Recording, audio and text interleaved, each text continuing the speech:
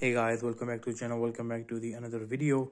ios 17.4 beta 2 is out finally after almost two weeks. The update size is about 6.16 gb as you can see the update size depends upon from what version you are coming so it can be different. Well it is not going to take any extra storage on your phone. It is just going to overwrite your ios on your device so no need to worry about the storage over here well first thing first let's talk about how you can download this update on your iphone. Well what you need to do is simply go to settings then go to general over here. Let me show you again. Go to general then go to software update. Wait for the software update over here. You will see you will not see any update. What you need to do is you need to select beta update then go to ios 17 developer beta just like this one. Go back and now you will see the update iOS 17.4 beta 2 is out. Well, I will be um, talking about this version in detail in my upcoming videos, but for now, I'm going to cover what are the basic things that uh, Apple is bringing with the iOS 17.4. So the main highlighting feature about the 17.4 is bringing alternative app, app stores where you can install different app stores uh, and you can install uh, different applications, different games uh, from those app stores but the side loading will only be available in the European Union. Well, just like on the uh, every other Android phone, you can install different APKs.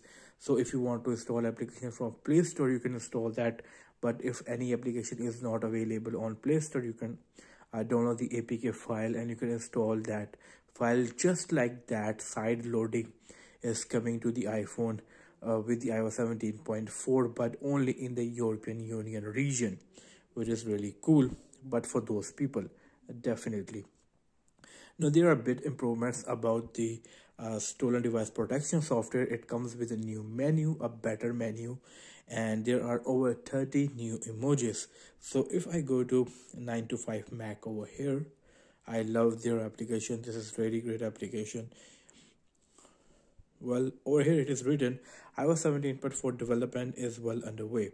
Apple just shipped iOS 17.4 beta 2 to developers. The pre-release software primarily focuses on changes made in the EU due to regulatory requirements. Well, for uh, everyone globally, iOS 17.4 includes new emoji characters as well. There are over 30 new emojis that you can use.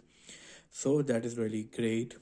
I will be talking about in detail about the 17.4 uh, beta 2 but for now I haven't installed this update.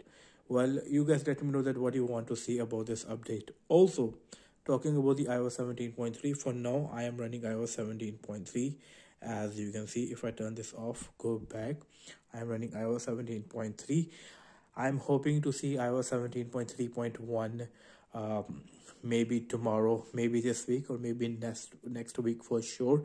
There are few uh, rumors about that. Macrumor uh, tweeted on their uh, uh, account that we are may going to see iOS 17.3.1 let's see if it is coming and what it will be uh, going to do for the iphone well that's it from this video i hope you like this video. If you did give this video a big thumbs up.